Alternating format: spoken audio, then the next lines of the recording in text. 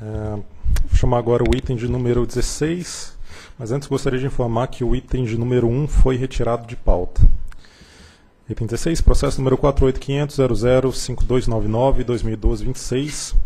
Recurso administrativo interposto pela Companhia Energética do Ceará, Coelce, em face da decisão proferida pelo Conselho Diretor da ARCE, que manteve multa imposta por meio do auto de infração número 10 de 2008, em razão do descumprimento da altura mínima de segurança de linhas de transmissão.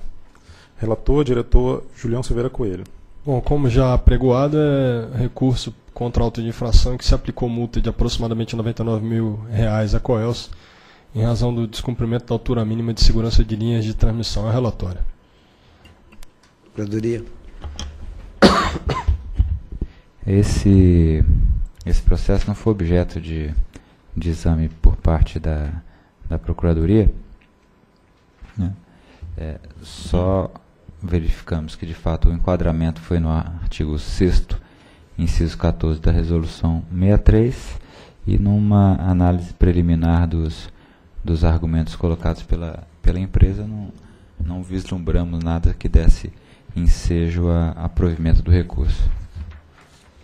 Primeiro argumento é de que teria havido violação à ampla defesa, é, uma vez que não foi oportunizada a apresentação de alegações finais. Mas nós já temos é, pacificado o entendimento de que, depois do recurso, vem a decisão da diretoria, não cabe, após o recurso apresentado pela própria concessionária contra o auto de infração, abrir prazo para que ela novamente se manifeste em alegações finais.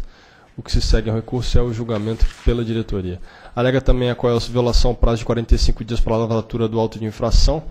Já tem súmula da ANEL sobre o assunto, súmula 12 de 2009. O prazo é impróprio, portanto, não, o fato de ter sido lavrado o auto 45 dias após a, o termo de notificação não dá ensejo à nulidade. Afirma também que a ANEL não tem competência para fixar as penalidades na Resolução 63.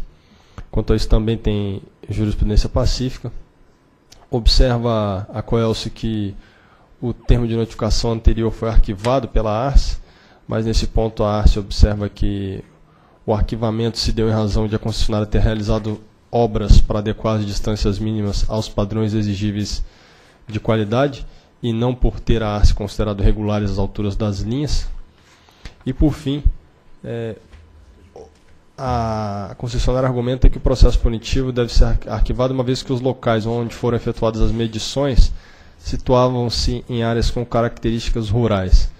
Mas, conforme pontuado pela ARCE, com razão, não há alusão nas normas técnicas aplicáveis a qualquer outra medida de segurança de condutor ou classificação de, de altura dependendo da área de zona, dependendo do, da zona rural urbana em que está localizada a instalação.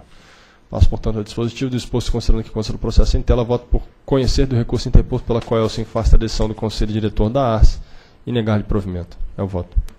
Ok, discussão. Em votação? Voto com o relator. Também voto com o relator. Também voto com o relator. A diretoria então decidiu por conhecer do recurso interposto pela COEL se afasta a decisão do Conselho Diretor da ARCE e negar-lhe provimento.